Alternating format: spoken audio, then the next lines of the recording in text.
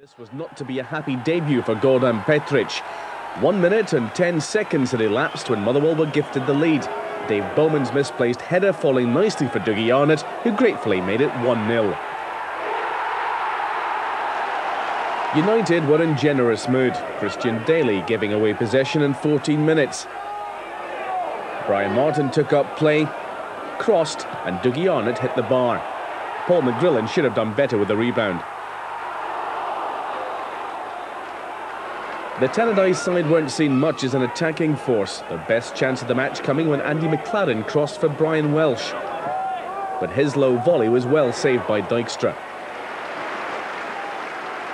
Motherwell were always in control and looked the more dangerous. Paul McGrillen having the confidence to take on two men. His cross just missed by Arnott. Jamie Dolan was in sharp and yet another botched clearance but he cleared the bar by quite a way. It was the same story in the second half. Motherwell always the more hungry side and the better at making chances. The McGrillen's cross headed over by Steve Kirk there. Kirk wasn't to be denied though, the second goal coming in 66 minutes. A nightmare for Maurice Malpas who slipped at the crucial moment when attempting to clear a cross. Kirk kept his cool, 2-0 for Motherwell.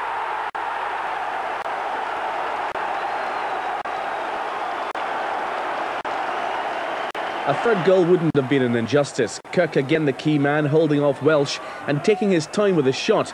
But this time he was beaten by the post and Petric booted clear. No matter, Motherwell are top of the league.